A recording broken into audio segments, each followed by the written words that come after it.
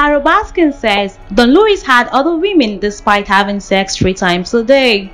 Carole Baskin's question claims that her ex-husband had 23 girlfriends as he was having sex three times a day with her.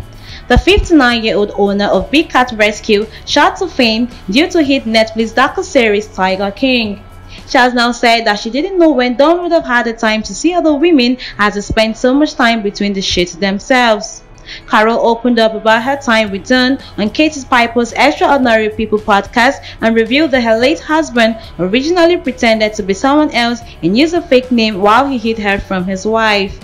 The animal activist was married to Don, a millionaire businessman, when he disappeared in 1997.